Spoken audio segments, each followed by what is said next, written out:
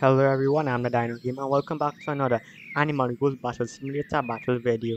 So this right here is our Velociraptor pack which consists of nearly 100 Velociraptors.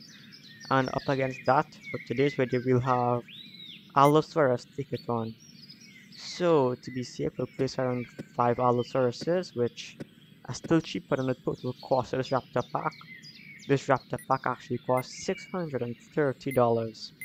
So yeah, should be a pretty even fight if heavily weighed on the Raptors team, but yeah. Without further ado, let us start the battle. So the Raptor team is separated into 4 different sections, first there are 5, then 10, then 25, then 50 velocities at the end. So close to 100 and they have already taken out the first 5 onto the second wave now.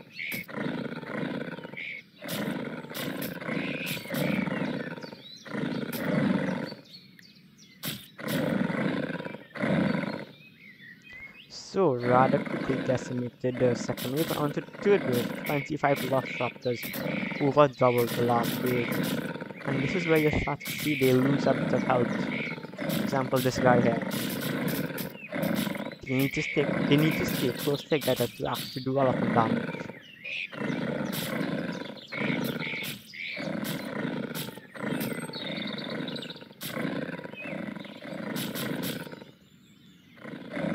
Well, that guy was thrown incredibly far away, and this one Allosaurus is pushing on the entire 50 by himself. This speed isn't going to fare too well for doing that. And yep, he's already dead. A bad mistake by the Allosaurus.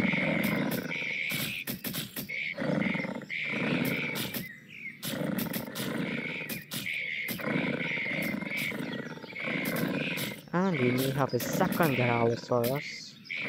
Yes, we do. Only three more left, and all with less than half health.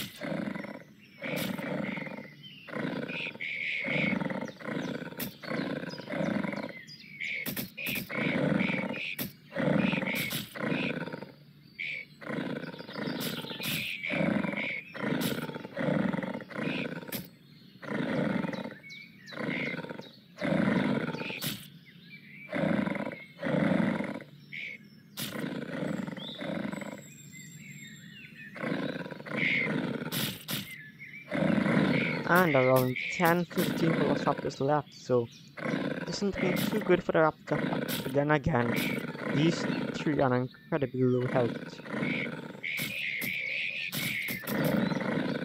Saying that I will be surprised if the Allosaurus lose.